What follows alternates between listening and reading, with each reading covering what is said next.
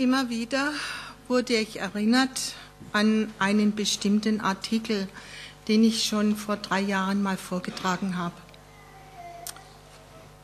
Ich habe ihn nicht mehr gefunden und heute Morgen habe ich ihn gefunden.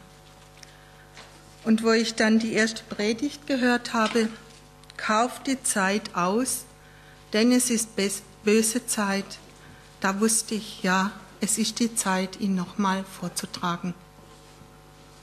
Siehe, ich komme bald und mein Lohn mit mir, einem jeden zu geben, wie seine Werke sind.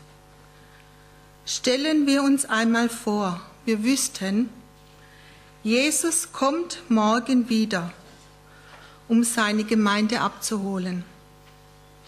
Wir hätten genau noch 24 Stunden Zeit. Was wäre dann noch wichtig? Wie würden wir diese Zeit verbringen? Vorerst gäbe es eine große Aufregung. Doch sehr schnell würde sich wohl jeder von uns einen Plan machen, was er oder sie in diesen letzten 24 Stunden auf Erden noch erledigen würde.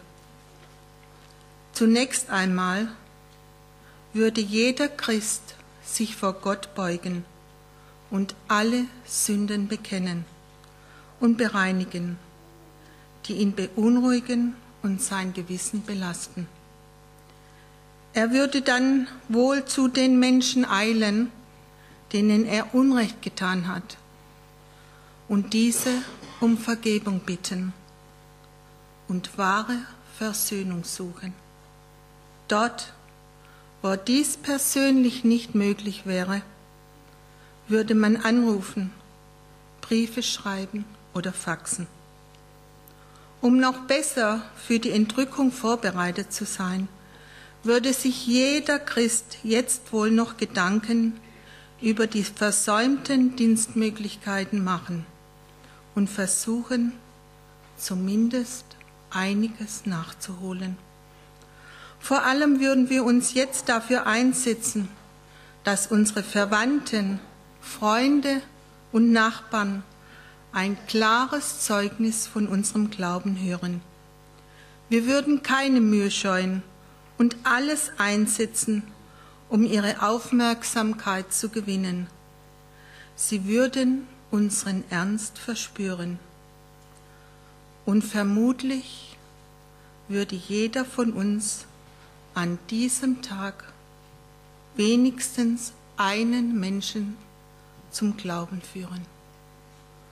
Dann würden wir, un wir an unser Geld denken und bedauern, dass wir so wenig gespendet haben. Wir würden unsere Sparbücher plündern und das Geld möglichst sinnvoll an Bedürftige verteilen. Niemand würde auch nur im Traum einfallen, an diesem Tag Zeit für Vergnügungen zu vergeuden. Und dann würden wir uns zur letzten Gebets- und Bibelstunde in der Gemeinde versammeln. Das Haus wäre viel zu klein. Viele würden stehen. Alle würden beten, ohne sich zu genieren in der großen Menge und in kleinen Gruppen. Bei dem Teil für freie Beiträge würden die Zeugnisse nicht abreißen wollen. Jeder würde aus seinem Erleben mit Gott erzählen und berichten, was Gott durch ihn an diesem Tag gewirkt hat. Die Zeugnisse würden wohl alle ähnlich enden. Ich bedauere so sehr, dass ich so viele Jahre nicht ganz hingegeben gelebt, wenig in der Gemeinde gedient, wenig gespendet habe, kaum anderen Zeugnis gegeben habe und nur selten bei den Gebetsstunden dabei war, weil ich angeblich Wichtigeres zu tun hatte. Wenn der Herr doch nur ein wenig verzögerte und erst in zwei, drei Jahren käme, so würde sich mein ganzes Leben total verändern. Ich möchte es so gerne möchte so gerne noch Frucht für die Ewigkeit wirken. Schätze im Himmel sammeln. Keiner würde auf die Uhr schauen und sich das Ende des Gottesdienstes herbeiwünschen. Nun, es ist durchaus realistisch anzunehmen, dass Jesus morgen wiederkommt. Alle Zeichen unserer Zeit sprechen dafür. Doch vielleicht haben wir gerade diese zwei oder drei Jahre noch als Zeit des Wirkens für den Herrn übrig. Dann wäre unser Wunsch ja tatsächlich erfüllt und wir hätten Zeit, um einiges von dem Versäumten nachzuholen. Fangen wir heute damit an. Amen.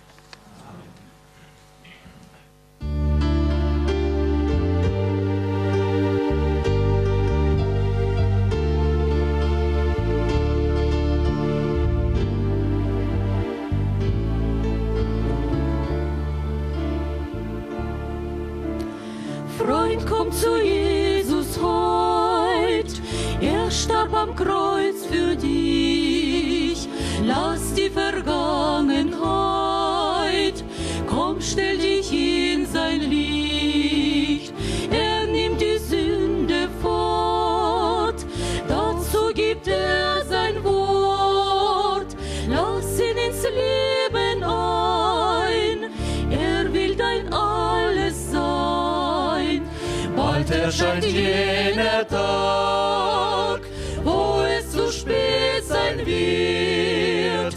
Heute noch kommen mag, wer seine Stimme hört. Nimmst du die Gnade an, wird Rettung dir zuteil.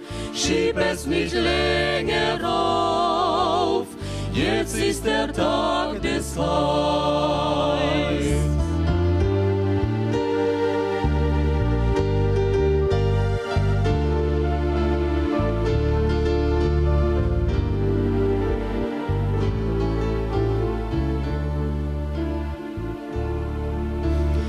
Heute noch steht der Herr mit offenen Armen da. Erlebt dich so sehr, gib ihm ein ganzes Ja. All deinen Seelenschmerz, was es auch immer sei, bring es zu Jesu Herz. Bei ihm wird alles neu, bald erscheint jener Tag, wo es zu spät sein wird, heute noch kommen mag. Wer seine Stimme hört, nimmst du die Gnade an, wird Rettung dir zuteil. Schieb es nicht länger auf, jetzt ist der Tag des Heils. Bald erscheint jener Tag, wo es zu spät sein wird, heute noch kommen mag. Wer seine Stimme hört, nimmst du die Gnade an, wird Rettung dir zuteil. Schieb es nicht länger auf, jetzt ist der Tag des Heils.